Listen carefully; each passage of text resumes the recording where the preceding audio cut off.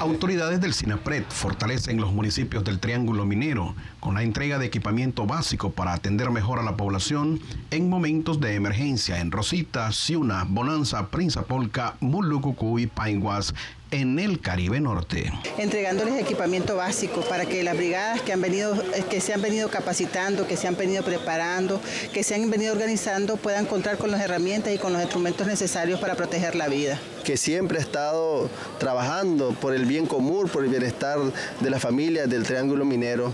Por esto es que vamos por más victorias este 7 de noviembre, para que este modelo de vida, este modelo que protege a las familias, continúe en esta Nicaragua luminosa. Los brigadistas del Triángulo Minero consideran que estos equipos son necesarios para realizar su labor. Muy agradecido con el gobierno nacional, más con nuestro presidente Daniel Ortega y nuestra señora Rosario Murillo, porque en realidad de las cosas no teníamos estos equipamientos.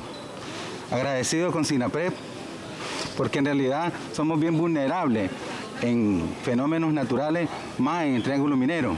Nosotros estamos contentos, alegres con nuestro comandante Daniel, la compañía Rosario, por ese gran apoyo que lo hace con amor, con compromiso, con las familias de esta región de la costa caribe, el Triángulo Minero, Prinzapolca, Mulucú, y Paiwa. Sinapred entregó equipo de salvamento, búsqueda y rescate que vienen a garantizar un mejor desempeño a las brigadas de los municipios del Triángulo Minero, Prinzapolca, Mulucucú y Paiguas. En Crónica TN8, José Gart.